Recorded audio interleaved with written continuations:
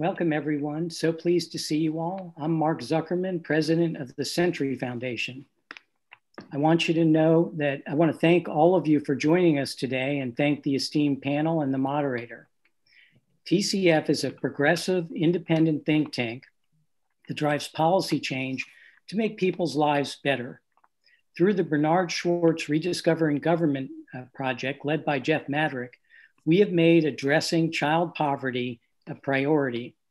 As you know, we had a major win recently with the expansion of the child tax credit in the American Rescue Plan. Our panel today will make the case for the adoption of a new poverty measure that is far more accurate. At this time, I want to please welcome David, uh, David Brady, professor and director of the Blum Initiative at the University of California, Riverside. Thank you again for joining us. And David, over to you. All right, thanks, Mark. I'm going to go ahead and share my screen, everybody, and we'll just have a few slides to get us going today. And I hopefully won't take too long to, to do this presentation. We'll have plenty of time for these panelists that, thank you very much, panelists, for being willing to do this. All right, so one of the things we want to do with this report is to take a step back and really ask some big picture questions about how we should conceive of poverty. Even before we get into the nitty gritty of the measurement, let's just think clearly and clear headed about really what do we mean by poverty. All right, so let's start with some very, very simple, very fundamental definitions that hopefully can orient a productive discussion in terms of what it means to be poor. Okay. Now, my favorite definition of poverty is a very simple one, comes largely from Tim Smeeding, and that's to say that poverty is nothing more, nothing less than a shortage of resources relative to needs. Okay, we can debate what needs are, we can debate what resources are, but at the end of the day, that's really what we're interested in. You don't have enough resources to meet your needs. You don't have enough money or whatever it is that you need in terms of resources to make ends meet. Okay, if we think of poverty in these very, very simple terms, the threshold is very simply the need standard. It's just how, what is the line at which your needs are met? At what point are you making ends meet? At what point are you meeting your needs?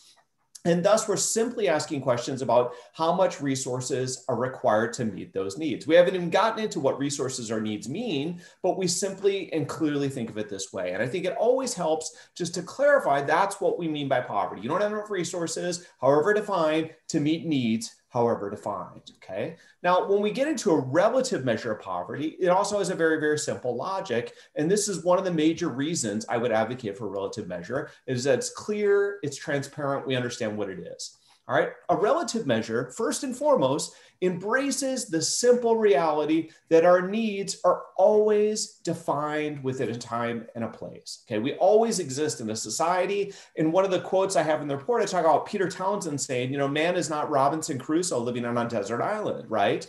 And similarly, we think about our needs in terms of the American culture today, the American context today. I quote, um, you know, a scholar for saying that, you know, we wouldn't think of a medieval nobleman as the threshold of needs. We would think of people today and families today.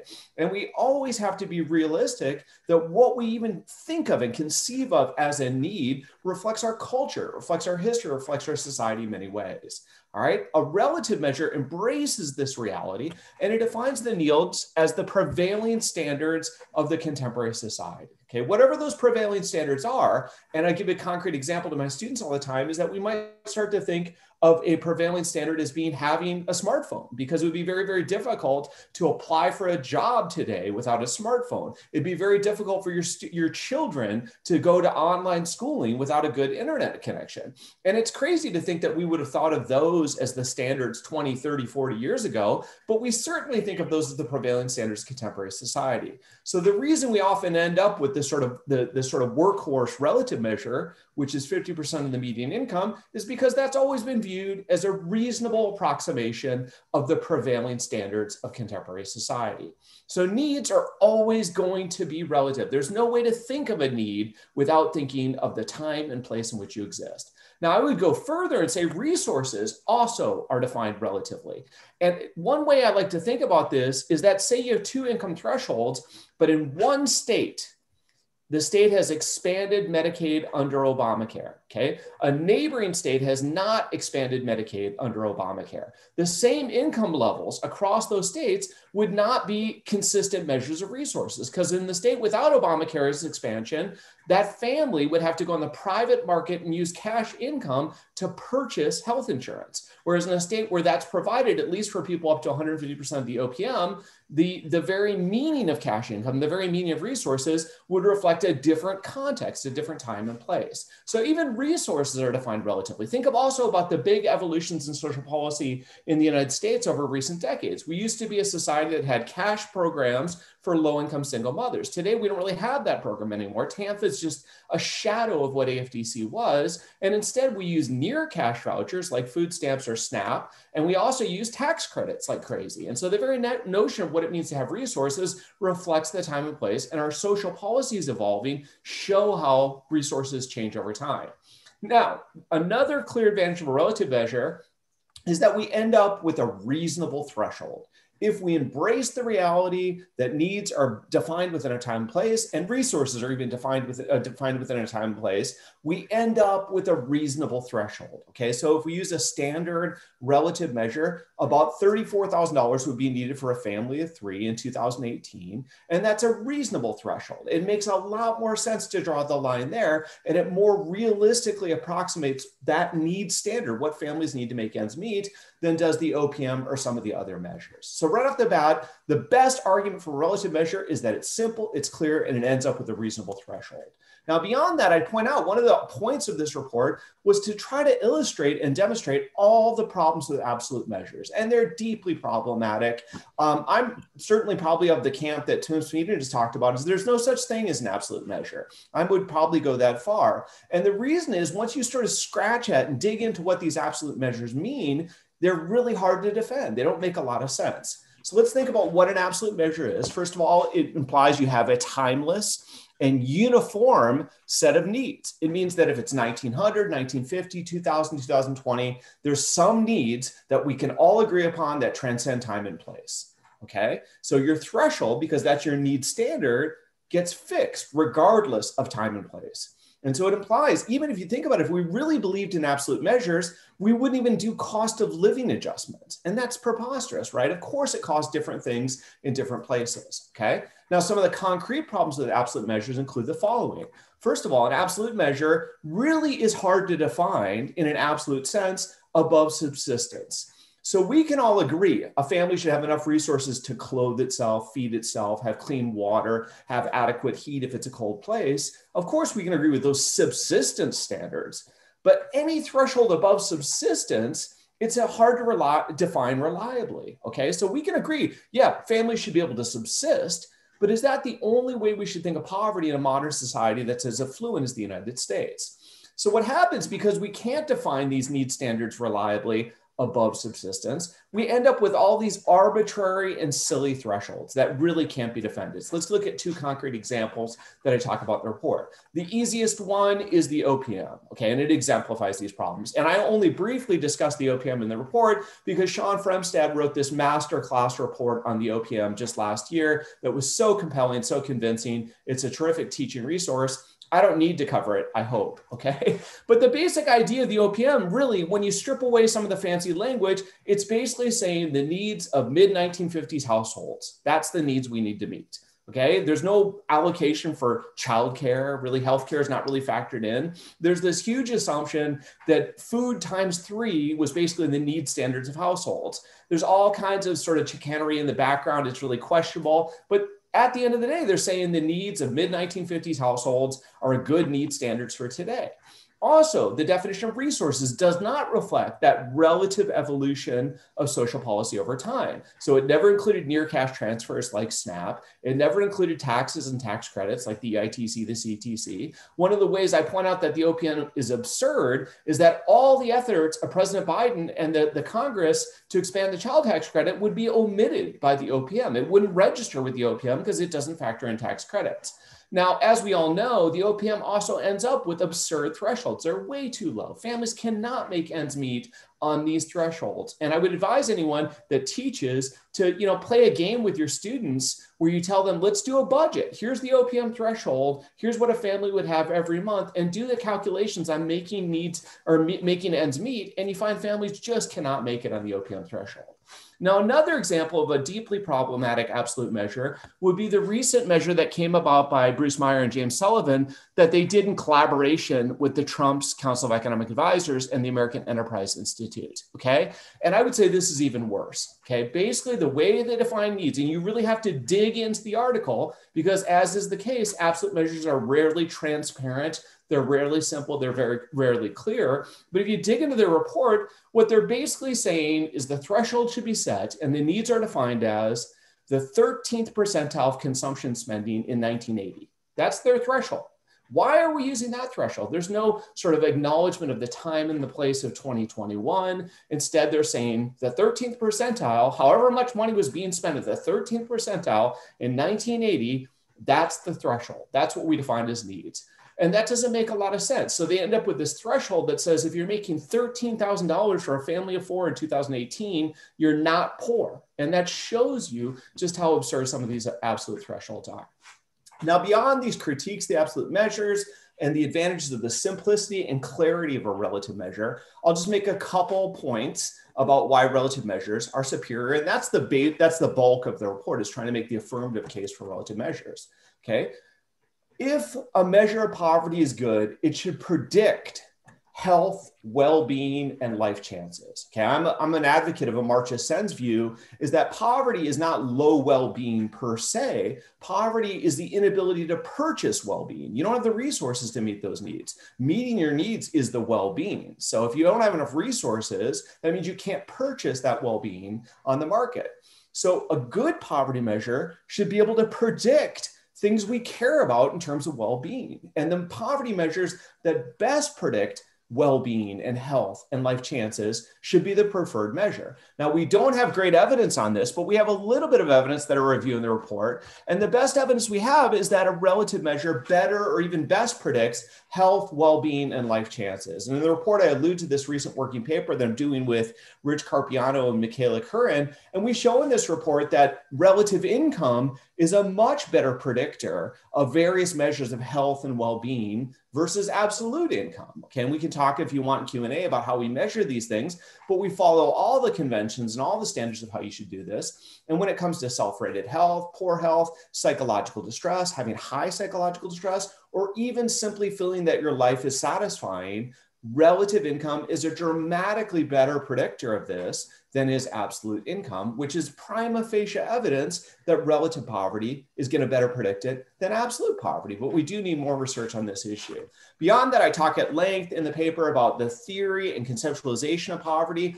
All the evidence I see is that all of our theoretical definitions and conceptualization of poverty, they point us towards relative measures. They do not point us towards absolute measures. And one of my favorite examples of this, of course, is Adam Smith, who said that you're poor if you can't meet the custom of the country for appearing in public without shame. And that was a profound definition to say you need to be able to appear in public without shame. And the custom of the country renders who's poor, not some absolute standard. And Adam Smith wrote that back in 1776. Adam Smith gave the example that being able to afford a linen shirt and assume 18th century Scotland, this was a marker of being able to appear in public without shame. And so, all of the leading conceptual definitions, when we think about what it means to be poor, social exclusion, capability deprivation, relative deprivation, all of the leading theoretical definitions point us towards relative measures.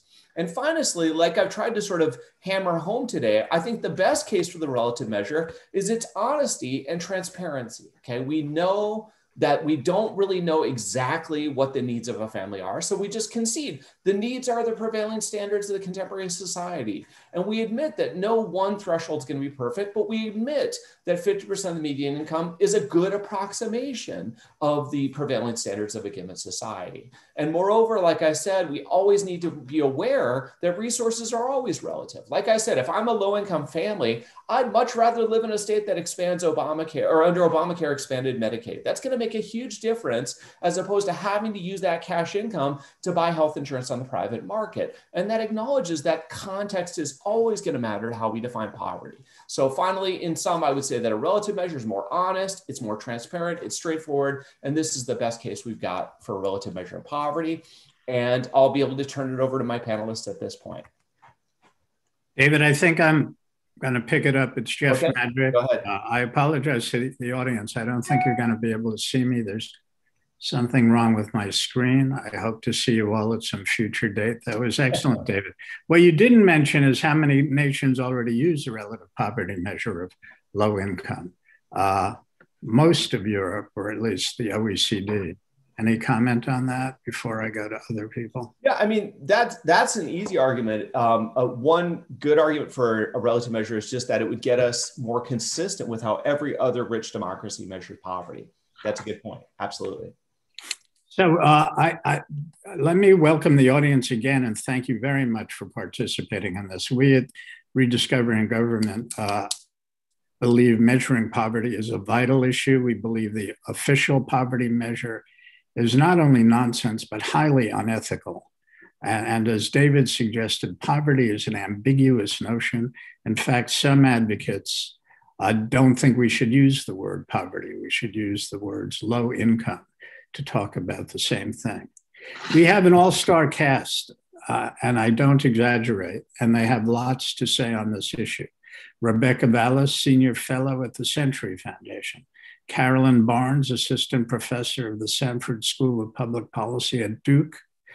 Emma Mehrabi, Director of Poverty Policy at the Children's Defense Fund. And Shawn Fremstad, Senior Policy Fellow at the Center for Economic and Policy Research, and a co sponsor of this webinar. I hope we mentioned this at the top. Uh, we're sponsoring this together. So thank you, Shawn.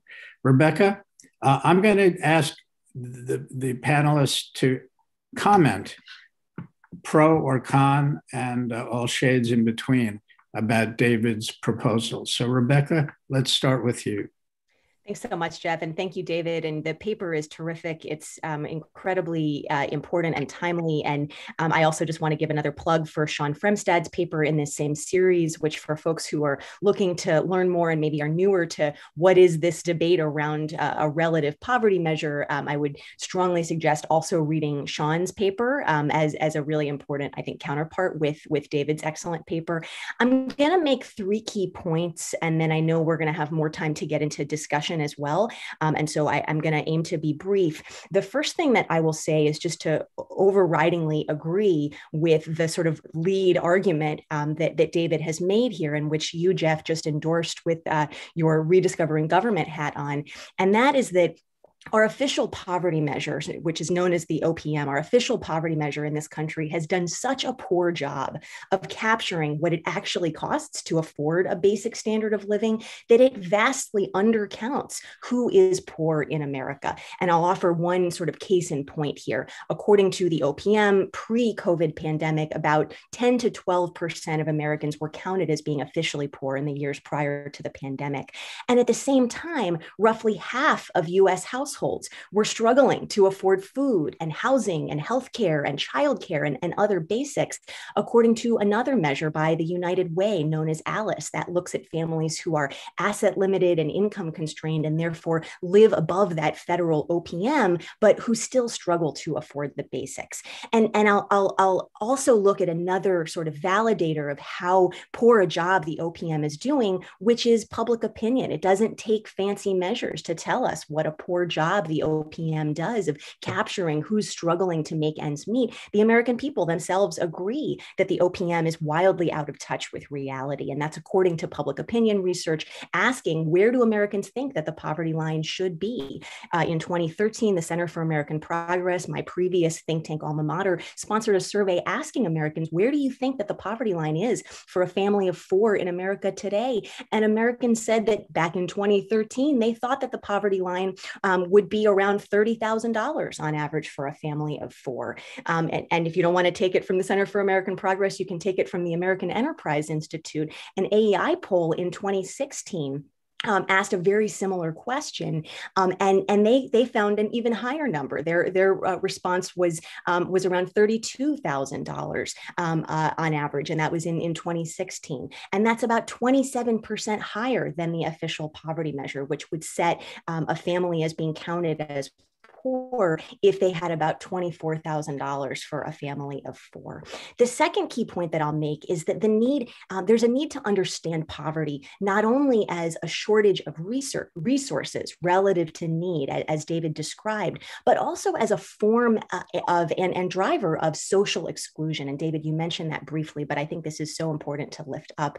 Um, David's paper does a great job of reviewing the social exclusion literature, which explores how the inability to afford certain minimum necessities results in exclusion from what constitutes normal daily life and a, a basic standard of living, whether that be access to the internet or clothes to be able to get a good job or access to decent housing and education and so forth. David quotes uh, Hilary Silver in the paper in noting that social exclusion is essentially the opposite of solidarity. And I find this to be an incredibly powerful link. In this way, poverty is not only about dollars and cents, it's also about marginalization and isolation from the broader community. So, as we think about moving to a relative measure of poverty, that would be in keeping in many ways with an approach that centers our common humanity and which reinforces solidarity as a goal and the economic and social freedom and, and human dignity that, that can come and that do come with not being poor versus otherization or the us and them mindset that allows some in this country to think out of sight, out of mind, or, or to engage in policy making that's about other people, I put in large scare quotes, rather than people who are part of an us. And the third and final point that I'll make in, in just this quick reactions point um, of the discussion is um, is is to say you know why why does this conversation matter? It's it's a fairly wonky subject. A lot of folks might be going relative poverty what are we even talking about? And i, I want to ask the question why does it even matter how we measure poverty? And so to that end in answering that question i would say well what is the goal in measuring poverty? Ostensibly it's not about knowing how many people fall below some arbitrary threshold that bears no resemblance to what it actually costs to afford a basic standard of living and similarly, when we set goals around, you know, quote unquote, lifting people out of poverty or protecting people from poverty, the goal there ostensibly isn't about bringing people above some arbitrary line for the sake of making the math work. Meanwhile, by defining poverty down over the years, which is what the OPM has done, it has not only understated what has actually been long-term, widespread, and rising economic insecurity, it's it's also distorted public awareness and public opinion around who the so-called poor are, reinforcing again an otherizing us and them narrative that paints the poor in capital letters as broken people instead of poverty as a widespread experience resulting from a broken economy. Um, and so I'll close by saying that a relative measure where poverty is defined as less than half or, or 60% of the median income, for example, as other uh, developed nations generally uh, measure poverty, would not only transform how we measure poverty in America, but would also have the potential to spur a major shift in the conversation around poverty, such that instead of asking how many people's incomes fell below some arbitrary dollar threshold that has nothing to do with what it costs to afford a basic standard of living today, we would be asking how many people have incomes that are too low to afford a basic standard standard of living in the here and now? That's a much more meaningful and relevant question. I would hope we can all agree, which then would set us up to evaluate various public policy options that can actually protect adults as well as children from poverty defined meaningfully. And I look forward to getting into all of this more in the discussion. Carolyn, all How right. are you? I'm great. On to David and uh, Rebecca, if you care to, and the issues that have been raised, or wow. make your own points, of course. um, I, I, agree with Rebecca and, and David's points um, that were so eloquently stated. Uh, David, thank you so much for writing this report and for your convincing case on why we should abandon the official measure of poverty for a relative measure um, a measure that captures resources relative to needs within a geographical, historical, and cultural context. I'm really curious, and I hope that we get to talk about this in uh, the Q&A. I'm curious about the intersection between a relative measure of poverty and racial disparities in living conditions, health, and well-being outcomes. So you emphasize the need to ensure that people are living in conditions that reflect the customary standards of the majority of contemporary societies or in the communities in which they live. But we've got a lot of evidence that suggests that there are really wide, glaring racial disparities in employment, housing insecurity, home ownership, and health and wealth. Now, I can imagine that um, capturing social exclusion through this relative measure, which you define as marginalization and isolation from one's community, or incomplete disadvantage of access to status benefits and experiences typical of citizens in society, that social exclusion measure might help us um, get at racism. But I worry that uh, a relative measure that focuses on this threshold of median income might mute how racism affects access to resources or how racism shapes policymakers and administrators' definitions of need. One of the things I've become increasingly sensitive to is the politicized and racialized nature of the official measure of poverty. Not only is it outdated and ill equipped to capture needs, but over time it's become a politicized tool to determine deservingness and to deter dependency on the state. Now, this has especially been the case as women of color, in particular Black women, have publicly been, been portrayed as the face of poverty. And what that's led to are means tested programs um, being hard, hard, harder to access and more punitive and less generous. And within all of this, the official measure of poverty has become a tool to deny resources to vulnerable families. So um, I guess my comment slash question slash response is if we ever move towards a relative measure of poverty, how, if at all, can we insulate this measure from becoming racialized in ways that reproduce patterns of racial inequality? And how can a relative measure of poverty address current racial disparities in resources and living conditions? And I'll leave that at there. Carolyn, thanks very much. This issue about media coverage of the poor is, well, a lot of issues, I suppose, by now are close to my heart. But when you look at the media coverage, and I talk about this in my book, Invisible Americans, um, at, in the 1960s, Black people were used to portray poverty in all the major media almost all the time. And of course, we know they accounted for something like half the poor or even less in some cases. So uh, the media since then, and I think still today in some of the great publications of our time, including the New York Times, have a lot to account for. So that's an important subject. I just want to reemphasize it.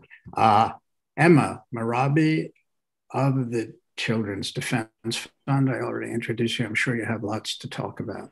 Yes, and also want to be mindful of time and how everyone is, um, what Rebecca and, and Professor Barnes always said. I, to, you know, a first reaction to David's um, report is that it, I think it lays a very strong case for why we need a relative measure, and it's a great compliment to Shawn's report, as Rebecca as noted is in the chat. You know, um, that a relative measure is in so many ways much more closely defined and reflected to our society's needs and the standards of living in the United States that obviously vary tremendously between neighborhood and neighborhood and your community. And if you live maybe in a rural part of America or an, an urban part. And I think we can all agree, at least in my mind, um, for these panelists, that um, you know our existing poverty measurement doesn't capture too many, but too few of the children and families who are struggling to make ends meet. Um, as I was thinking about the report and, and reacting to some of the conversations in the report, particularly on well-being and how we just further define how poverty and child, particularly for the Children's Defense Fund with child well-being. Um, I think it touched on that example um, and how, how it produces harm and violence and undermines well-being. Um, but I also think a, a further discussion and um, conversation is needed on why those two are actually so deeply connected. Purchasing or, you know, children or families purchasing or pursuing well-being, but it's actually intertwined to a child's lifelong health, right? And they're building blocks of brain. And so as I think about it, um, you know, positive early experiences do provide children with really that lifelong foundation, right? It provides them the building blocks to health, well-being in the future, um, which in turn helps their skills and their learning capacities throughout their lifespan. Um, and so in my mind, I think we need to better connect the basics of well-being that are uniquely connected to child poverty and how uh, well-being can in turn impact um, a child's life. And so I think of it kind of as three things. Um, a stable, nurturing environment with relationships with nurturing adults, so those who have secure attachments to an adult or a caregiver that's caring for them. Um, safe, supportive, healthy homes and neighborhoods free of environmental toxins, and then appropriate health and nutrition and education. And in my mind, um, those really early health indicators are so not just a private responsibility of parents, and I think you kind of touched upon this in your report, David, um, but they're really collect, they are, and they should be, um, probably not as, as well defined or well um, narrated in society, but really should be the responsibility of all of us, um, both as our neighbors, our community members, and the like. And just a few examples, and then I'll turn it back to you. Um, I think of it kind of in this way. Um, you know, it means if you have these three kind of health indicators, it also means that you have you might have supportive family members, quality early childhood program staff.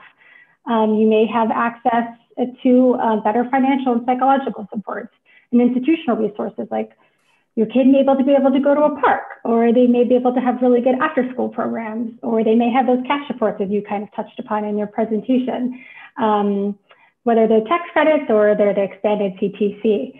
Um, so when you lay it, I think when you further talk about them as more connected, you can even start debunking the notion that these are all individual factors contributing to, po to poverty and individual failing, and more as how are these two things connected, and how are they government and societal responsibilities to ensure the next generation has what they need to flourish and thrive. Um, and with that, I will turn it back to Jeff and look forward to more discussions. And I, I will turn it over to Shawn from C EPR, who is uh, people have mentioned, has written very effectively for our organization, for both of ours, uh, on these subjects. I think I, I, would I just have to mention Amartya Sen's capabilities literature and some of his co-authors that uh, poor kids need to be given the capabilities to have an opportunistic life. But let me uh, let me shift over to Shawn. Uh, and Shawn, comments about David and everybody else? Sure. Um, well, thank you so much for having me on. This is a terrific uh, report, David, and and terrific comments from everybody. Uh, I wanted to say something about the word relative, right? Which I think, I think there's a branding issue here. Like to some American ears, I think relative just sounds too different, you know, too European. It's like, you know, post-structuralist or something. And it's really, you know, uh, so I think it's really important just to stress how normal this approach is, right? We could call it the normal concrete approach to poverty measurement or something. I mean, not going to be easy, you know, probably won't work. I mean, you know, social scientists have their terms, but um, it's really just saying, you know, when we say relative, we're just saying compared to the here and now, this time and place, you know, this kind of, you know, reference. Um, and so a relative poverty measurement is just one that measures poverty in a way that's anchored to our place and time. United States in 21st century America, not 1960s America. One of my favorite quotes that I always like to bring up in poverty measurement to give you a sense of how non-normal the current OPM is, the current official poverty measure, is um, comes from Molly Orshansky. So she was the, the Social Security Administration um, staffer who really was responsible for developing the measure. This was back in literally the early 1960s. She was using 1959 roughly consumption data to put this together. And as she wrote back then, this poverty measure assumes a quote, careful shopper, skillful cook, and a good manager who will prepare all the family meals at home. So basically, the idea was every American with you know has a stay-at-home wife um, to to take care of of you know their cooking and their cleaning and household management. And i think you know in the here and now that's not normal america anymore. We don't prepare all our meals at home. We don't expect all this sort of household knowledge and that we have um, you know quote unquote a wife to like take care of those needs Um, so I think part of this is just you know modernizing and updating and recognizing um, that um, things have changed. Um, so you know, again, just you know, it's a normal way to measure poverty. It's a normal 21st century way. Um, I just want to share a few quick thoughts on some very specific um, steps that I think the Biden administration, census, and the current Congress could take to move toward, you know, a more modern, normal, relative kind of um, set of poverty measures. First of all, every September, the Census Bureau publishes a report that uses the OPM, the official poverty measure, to say um, how many Americans are poor. Last year, President Trump um, touted that report to claim that poverty had reached a historic low as a result of his presidency. Um, and of course, as, as David has noted, um, you know, that's ridiculous. It's not a, you know, no longer a valid measure. We shouldn't be, you know, letting the next President Trump point to that measure to say they've um, achieved this historic progress on poverty. Um, so I think it's really something, I think, and partly I think people working at the Census Bureau, serious, sober career staffers should think, you know, can we be holding this out as official, as an accurate measure of quote unquote poverty in 2021? And I think there's a kind of, you know, this goes to places like the National Academy of Sciences too. I think there's a real responsibility here not to mislead the public.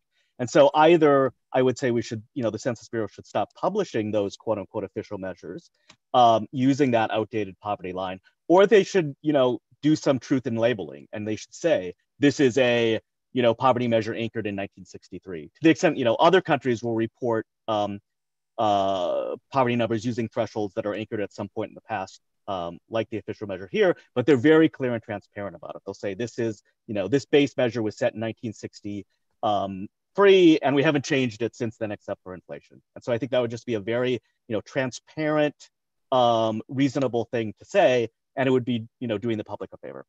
Um, Second, the Census Bureau publishes a report that uses what's called the supplemental poverty measure, and there's been some discussion of it here. That is a much better measure in so many respects. It's still not really, it's a somewhat relative measure, but I think it's not really a true relative measure in the way we're talking about here, and that it it's still set very low. Um, I think there hasn't been the kind of, again, transparent sort of public discussion of where you need to set that threshold. And so I'd really urge the administration to review the SPM, to review the income thresholds, to, to decide are these thresholds, uh, is this poverty line that we set using the SPM um, relative to the prevailing standards of our time? And they should be transparent about it, provide a public rationale for wherever they decide to set them, and there should be an opportunity for the public to comment on that. I, th- I think that's just very, you know, sort of like, again, you want to have something that's relative to today, and you want to have actual people able to say, you know, what they think about it. And then finally, I would say in annual reports on income poverty, um, the census should just get in the habit of using a you know 50% of median income or 60% of median income threshold and say how many Americans are below this threshold. You know, if they don't want to call it poverty, that's fine with me actually, because I think, you know, it's kind of, you know, if they want to call it low income because we haven't figured out exactly where we want to set the poverty line, fine. But I think you want to get to this idea this is how many Americans are falling this far behind um, the middle. So you're really getting this idea of, you know, we're trying to move together a, as a country. How many of our people are falling, you know, are only at half um, of what the middle or 60%. Um, and when you look at those measures, you know, I, I looked at these closely this morning or uh, quickly this morning. If you use 60% of median, which is uh, what the United Kingdom uses, it would mean 28% of um, US children fall below that threshold, are below um, 60% of median. If you use 50%, it would be 20% of all children. So again, I think a much more accurate gives you both, I think of those give you a much more accurate sense of what we really think about, you know, what is the percentage of children uh, who are falling um, behind um, and that we need to be really thoughtful about. Um, uh, so um, I'll just I'll, I'll just leave it at that. I don't want to kind of use up um, more time. Uh, thanks. Okay, Shawn, thank you very much. So Shawn's proposed some uh, action uh, we, I want to give everybody a chance to comment again. My main question is, what should we do? Uh, Shawn already commented on that. David, uh, how do we get there? Rebecca, I already mentioned to Rebecca, I was going to ask her early on. Uh, we don't have a lot of time for conversation. That's the nature of this beast, but make your key points, please. Uh, David, did you want to make a point on yeah, this? I'll make a couple points. Um, and you know, I've argued that a relative measure is transparent and simple. And it's just unfortunate. Jeff is not being transparent by not showing us his camera on. You know, Jeff is very shady and questionable. You're this shadowy figure that we don't just a voice. I don't know. It's it's unfortunate. Yeah.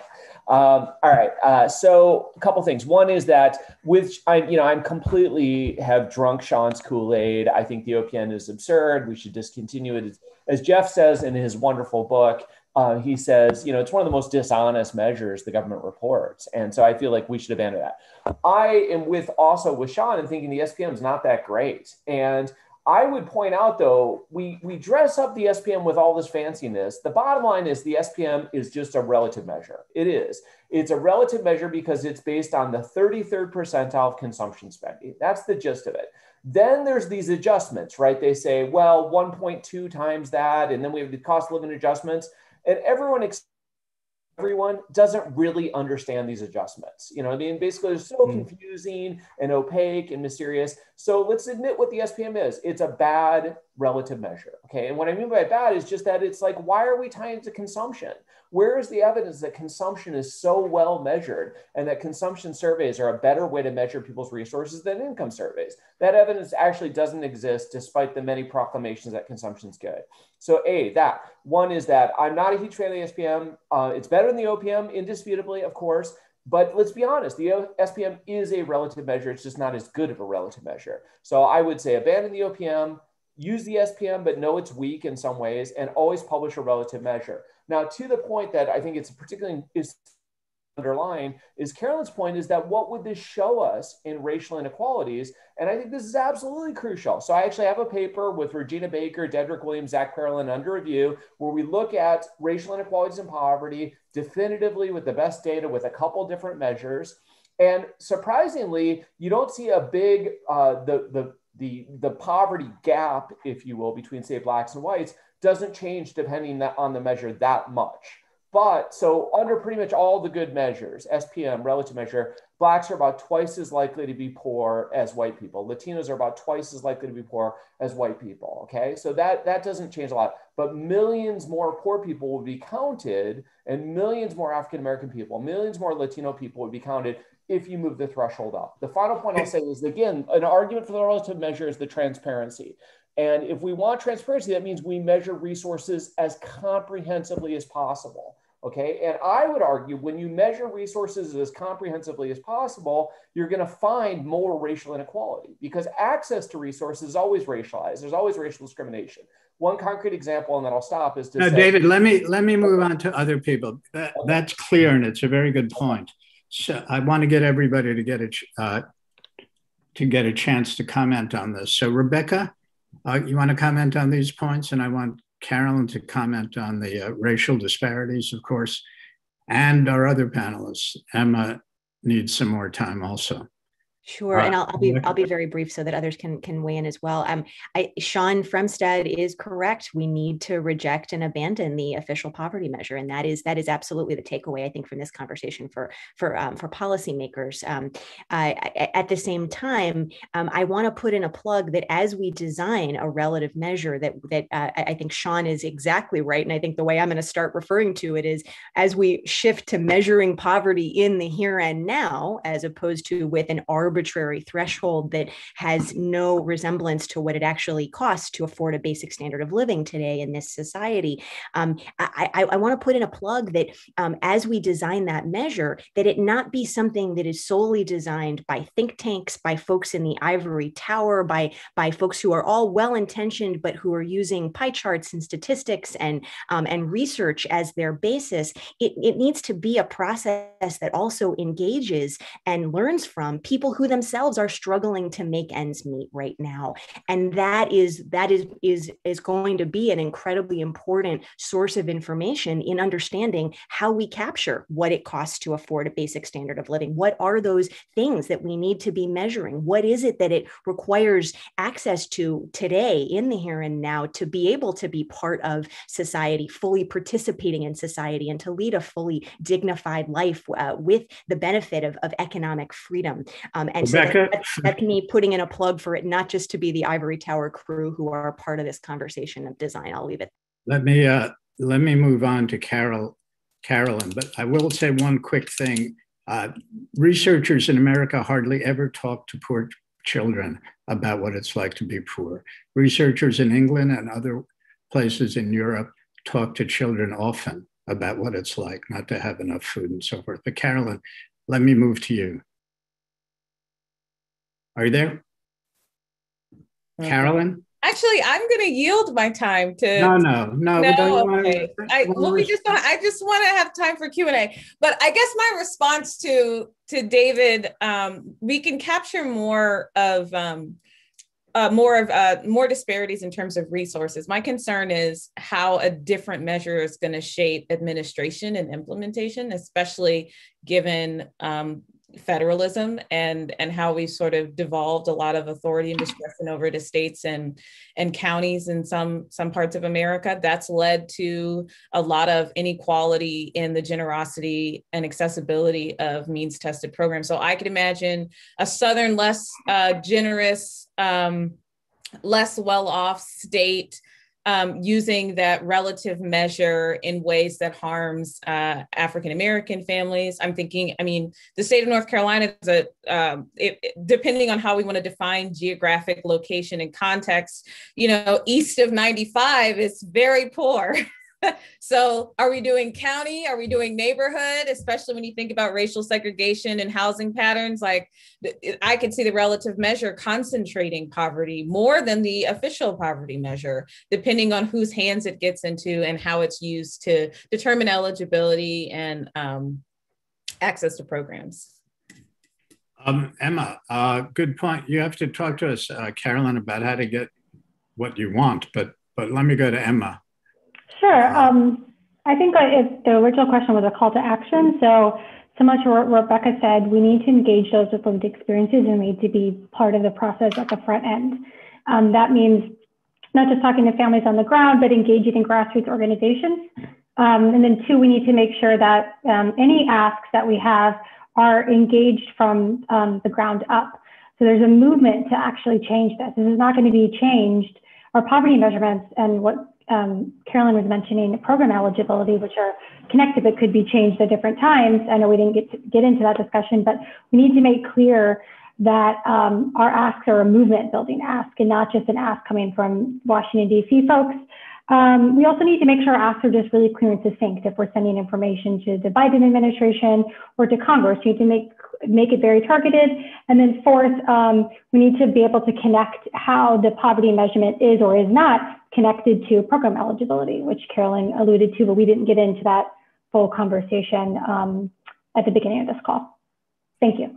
Uh, is it time for us to go to the audience, Ellie, or are we on schedule? Yeah, we've got some audience questions we can go to. Um, the first one is that a big benefit of SPM thresholds is that they vary by geography, recognizing that cost of living and therefore need differs throughout the country. David, are you saying that there should be national thresholds that are relative, same threshold for New York City as for rural Mississippi? Yeah, great question. And there was a bunch of people that asked, should the threshold be local, national, or global? And this directly dovetails with Carolyn's concern. So imagine you're in a very poor neighborhood or poor community. Would the threshold be much lower? Because, and would that then create exacerbate racial inequalities given the residential segregation of peoples across the United States? Um, I would say I think this is a great question, and I think this is a, the question that should be the source of democratic debate. I would not impose a decision on this. I would say we should be debating this. And that would be great if we're debating that issue. But the minute we're doing this, we relative measures have won. Okay. If we're going to debate exactly where the line is set and what means prevailing standards of our time and place, the here and now, as Shawn says, I'm open to the debate on where the best way to draw that is. But then let's admit we're doing a relative measure. And that's so I sort of am willing to win the big picture argument for the here and now and the prevailing standards and let uh, many of us debate the precise way to define the here and now and the prevailing standards, whether that's global, national, or local. Any other comments on that issue? Can I? Yeah, uh, I think this is great, and I, I think you know this. Some of the questions around geography and race. There's so there's so much there that it it really um, it'd be great to have another two or three hours on this. But yeah. um, on geography, I think you know one of the issues, and race too. It is an issue with so with the supplemental poverty measure, um, because I think, and it goes back to the fact that they don't really set the the main national threshold high enough there are actually places in the country that have a lower supplemental poverty um, line than um, the current official poverty line, and it's a lot. And it includes places like in the rural um, South, in the um, um, in very poor areas, and I think that is um, a real problem. and the other issue I think with the supplemental poverty measurement from a racial perspective, it is it, last time I checked, it actually because of you know some of the ways the pieces work together, it increases the number of white people um, who are poor, but reduces the number of black people who are poor. And you know there may be you know valid reasons for that within the mechanism, but I kind of think the over it, it strikes me as just kind of being off. Um, in a way um, that, um, especially when it kind of, it still has a very low number in terms of the overall rate. Um, I think these issues on geography, I mean, part of the part of the issue, part of what we have to think about is um, we need a measure that identifies poor places and sets a kind of goal. You know, how do you lift, you know, this place is poor relative to the national standard. And that doesn't mean they should just have a, you know, a similarly poor threshold that we kind of define down the threshold. And there may not be an easy way to do it. I think it's the kind of thing we need to do a lot more thinking about. Maybe you have both. Um, you know, there's some been some work on this in Europe where they use kind of both um, a national threshold and a place specific threshold and then they you know have they're both goals kind of operating at the same time yeah and i, I would just add if i could um, i would not go too local because um, sort of as alluded to by Carolyn, you know, one of the capabilities Absolutely. we want resources for is to be able to not live in a in an unsafe or polluted neighborhood, right? So mm-hmm. avoiding toxins seems like a perfectly reasonable, you know, a well-being to purchase. And if we set the thresholds just based on your neighborhood, for example, you might do well within a very, very poor neighborhood, but that sort of removes the capacity or the capability to move out of a poor neighborhood and move into a neighborhood that's safer and healthier and what have you. So, David, let, let's try to go to another question, another audience question. Thanks. Sure. So another question we have is what is the panel's opinion on the accuracy and utility of, of measures of poverty and need that have been developed, such as United Way's ALICE threshold, the self-sufficiency standard, and New York City's CEO measure? What are key metrics you look at to compare such measures? So who would like to answer that? I think, uh, Emma, do you want to answer that? Didn't you talk about that? I Rebecca talked about the ALICE one. I mean, I used the, and I will now defer to Rebecca, but I use the um, EPI's family self-sufficiency calculator like pretty frequently. And I, I think the last estimate was that a family of four with two children in Washington D.C. needed like $105,000 to like make, meet basic needs, which is like, I think it's four times the official poverty measure. But I'll let, so I use it. So to answer your question, I use it. I think there's other ones. Georgetown has a similar one. Um, I, I, know Insight Center has has another one, but I will defer to also to Rebecca because I know she was on who brought up ALICE. So Rebecca, I'll, I'll just say, I mean, I, I actually find them to be much more helpful and much more accurate than the official poverty measure. It's not to say that any one of them is perfect or, or stands in as, as the substitute that, ooh, there's no more work that needs to be done, no more research, no more debate, no more um, talking with, with folks who are experiencing uh, what it is like to not meet basic needs uh, in, in the here and now today. Um, but I do find all of them to be um, a lot closer to what it actually costs to afford a basic standard of living. And I particularly particularly like the ALICE measure in that it's a nice complement to some of the cost of living measures in that it actually helps us track um, uh, the, the share of families who are not able to afford certain things that we have all agreed on are, are basics, um, like food, housing, healthcare, childcare. It starts to get into those specific basics. But um, I, I, don't want to uh, lead this audience to believe that somehow any of those it has done the work for us and means that we don't still need a relative measure, which would, I think, learn from it and incorporate some of the principles of cost of living. And just one thing very briefly is that the government has to own a new measurement. Like it can't be up to nonprofit organizations or mm. economists or whatever that decide that they're going to make their own. It's it's a shame that the government hasn't updated one. So I don't I don't think it replaces a government run timely relevant statistical model that is updated more frequently than it is now. Carolyn, are you working on any kind of action plan uh, to address your concerns? Um, I, I don't know. Action plan probably isn't the best word. I think I'm concerned about political feasibility. So, um, and just how how poverty measures are are talked about and used. Like we think about it in terms of connecting it to child and family well-being, among other things. Um, I, I do social policy research and I think about targeted programs and I think about the policy targets of those programs and how they've been socially constructed in a negative light through discourse. So I'm just thinking through the political feasibility of shifting, you know, what we've done for the past however long to something that that should be more generous and should create more equitable outcomes. What what pitfalls might emerge?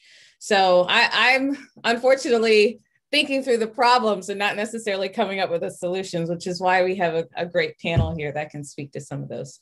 Can I say one self-serving thing? I first wrote about unconditional child cash allowances six years ago in mm. the New York Times, and they got all kinds of hate mail oh, about sure. giving money to poor parents who will waste it on their own uh, on their needs. Yeah. But uh, I pushed ahead, didn't think about political feasibility. This is not to pat myself on the back. I just, or is it, or it is. And here we are with the expanded generous child tax credit. It's not perfect. We don't even know whether it will be permanent, but sometimes you just have to do things because you feel they're right. Uh, you'll have, I apologize for uh, patting myself on the back. Do we have any more uh, comments, Ellie? Yeah, I think, I think we have time for one last question, and that actually- if I if I could hop in there before Ellie asks another question, I want to just say I think Carolyn is is not alone here in having questions uh, about um, what the political feasibility of doing this would be. We might all be clear in trying and united as a panel in saying we know the OPM isn't doing it, folks. We need to do better, but I don't want to I don't want to have the rest of us leave some sort of um, illusion here that we think this is going to be like flipping a switch. I'm going to allude to an episode of The West Wing that people may remember when there was actually a discussion about, hey, not we're not actually doing we're not doing a great job of measuring poverty, and then and then nobody wanted to be the president who was going to have poverty go up on their watch, or at least have that appear to be what's happening in the data. So I don't think it would it would do us a service in this conversation to pretend that this is an easy road that any of us is suggesting we walk down politically, but we do have a real opportunity in this moment with President Biden and, and Vice President Harris taking historic leaps forward in trying to redefine what it looks like for our society to care about our people um, and, and, and what it looks like for our social insurance infrastructure to be adequate. Um, this, this is in step with the American Rescue Plan, the American Families Plan, the American Jobs Plan in thinking big about getting it right on something we've been doing so wrong for so long. Well, uh, are we, is it conclude, concluding time, Ellie? Um, I think we can probably fit in one more question because it's right in the vein as what Rebecca was just saying. Um, one person asked, we hear a lot about how the latest stimulus stimulus cut child poverty in half. Can you touch a little bit on how that relates to different poverty measures and what that means? Could cut it in half. Who's that to, Rebecca? Throw that one to Emma. I was just nodding like, yeah, that's yeah, Rebecca can do that. Anyone could cut this. So yeah, the projections. Um, I think a lot of different organizations and and um, universities have done projections. A lot of them have been from Columbia University. Our friends over there at the Center of Poverty and Social Policy, um, or excuse me, I'm blanking on the name, but um, there were projections, and they were projections on mostly the child tax credit um, that assume a 100% take up rate. So if families and children on the ground, even though they have expanded eligibility, if they're actually not able to get the child tax credit, whether that's accessibility issues, whether that's they don't file their taxes because they weren't aware of it, whether that's because the IRS refuses to put a uh, simplified online filing tool um, so families can sign up. There's going to be a whole host of issues. I think what we're all concerned about is that in, in actuality, the child poverty won't be cut in half because we won't be able to realize it due to accessibility issues um, on the ground.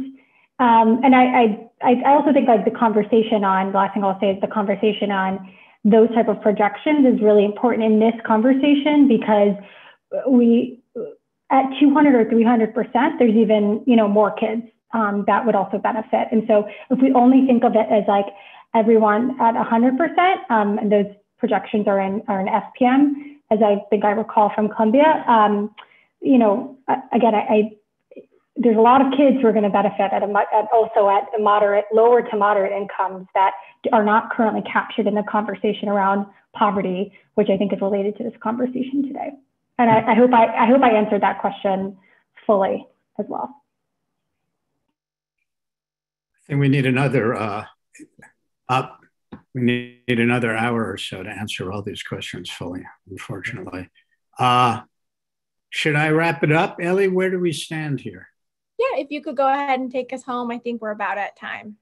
Okay, well, uh, we have exceptional people on this panel, all of whom had exceptional ideas. David Brady, thank you for this important report. It can be found on the TCF website. Am I right, Emma? And uh, are, are we still on? And on the CEPR website, I think. Are we still on?